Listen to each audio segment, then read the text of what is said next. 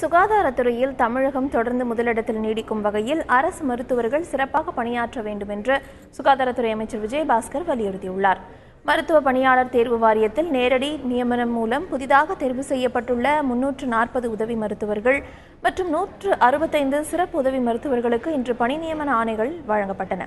இதையொட்டி சென்னை ஓமந்தூரா தோட்டத்தில் உள்ள அரசு பன்னோக்கு சிறப்பு மருத்துவமனையில் நடைபெற்ற நிகழ்ச்சியில் முதலமைச்சர் எடப்பாடி பழனிசாமி இருபத்தி நான்கு பேருக்கு பணி ஆணைகளை வழங்கினார்